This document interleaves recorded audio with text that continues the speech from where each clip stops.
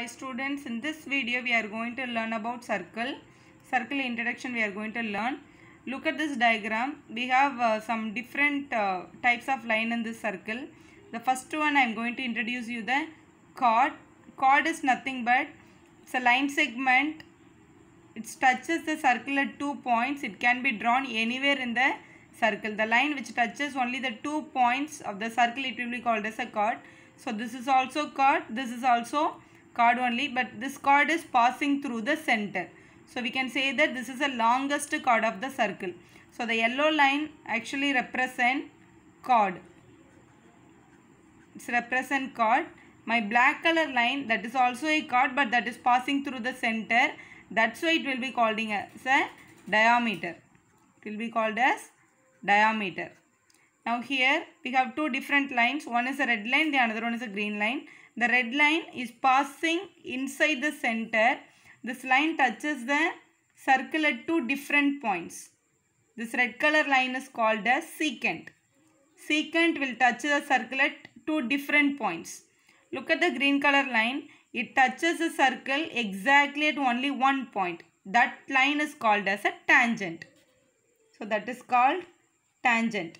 So tangent will touch the circle at exactly only one point. Look at these circles uh, children. We have three different points on the circle. The point can be inside the circle or the point can be outside the circle or the point on the circumference of the circle. So these are all the three uh, location for the points. So from the point which is inside we cannot draw any tangent. There is no tangent will be possible. So no tangent from the interior point because the tangent should come out of the circle that should touch at only one point. Suppose the point is exterior. From this exterior point we can draw two tangents. One is this side. You can draw the tangent in this way. This is one tangent. Same way you can draw one more tangent this side. So from the exterior point of the circle we can draw two different tangent to the circle. So how many tangents are possible from the exterior point means two tangent we have to say. Two tangents are possible. Tangent have the arrow mark because it's a line actually. So here we have only one point that is on the circle. Through this point we can draw only one tangent. Like this you have to draw.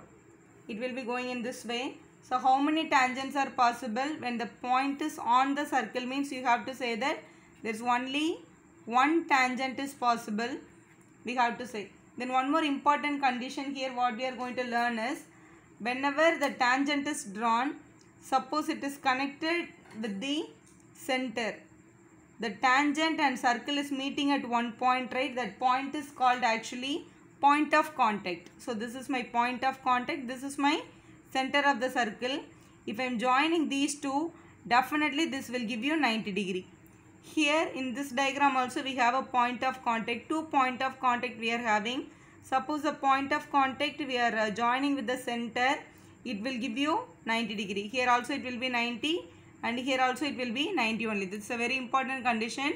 Tangent with the radius. This is called the radius of the circle. This is called tangent of the circle. We'll move on to the next concept now.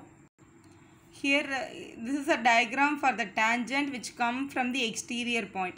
This is the exterior point of the circle. Suppose this is my center of the circle. Let us take it as O. This is my exterior point. Let us take it as P. So from the exterior point we have two tangents. So the tangent will be touching the circle at one point. So this is my point of contact. Let us take this point of contact as A and this point of contact as B. So we can take it in this way. So we all know that the tangent and radius definitely will make 90 degree. So here definitely it is 90 degree. So here OAP is a triangle. Actually it is a right angle triangle. For right angle triangle always Pythagoras theorem will be satisfied. So in this right angle triangle what is a hypotenuse side I should find out. So which is the longest side here in these three which line comes opposite to the 90 degrees called the hypotenuse. So OP is the lengthiest one.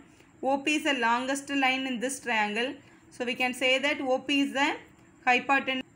So we know that according to the uh, Pythagoras theorem, hypotenuse square is equal to uh, square, side squared plus side squared we can say. Here my hypotenuse is OP. So we can write it as OP squared equal to side squared plus side squared. The another side is OA and AP. So we can write it OA squared plus AP squared. So this is a theorem we can apply in this exterior point tangent. We'll move on to the next one now. So one more important thing about the tangent with a circle. So here we have a circle with a center O let us uh, assume. Now we have a exterior point. This is my exterior point P. So from the P we have drawn two tangent. This point of contact let us take it as A and this point of contact let us take it as B. Look at this diagram here. A, P, B, O. It's a quadrilateral. Actually it is a four-sided figure. Four-sided diagram in this one. Definitely this tangent and radius will uh, make you 90 degree. Here also this radius and tangent will make you 90 degree. So this is 90 and this is also definitely it will be 90 degree only. So for any quadrilateral, what is the angle sum property?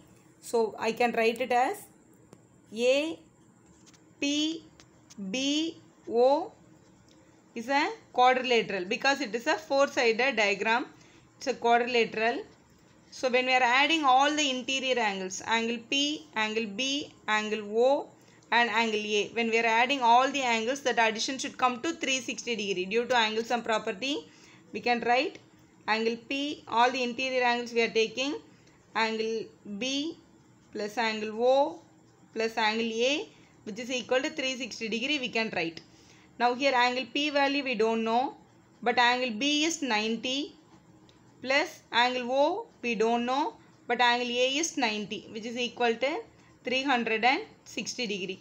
Now 90 plus 90 is 180. So the plus 180 if we take it into other side it will be minus 180. So angle P plus angle O which will give you 360 minus 180 degree. So 360 minus 180 will give you 180. So angle P plus angle O is equal to 180 degree. So whenever we are adding this angle P and angle O, definitely that answer should come to 180 degree. We can say that angle P and angle O are supplementary angles because complementary means 90, supplementary means 180 degree. So whenever the diagram is given to you, this angle P, angle P is nothing but the angle formed by two tangent. This name is angle formed by two tangent and the angle formed in the center always they will be a supplementary angle. Suppose here it is a 60 degree. What will be the O they will be asking you. No need to do anything. Here it is 60 means definitely this will be 120. Then only 180 addition will be possible.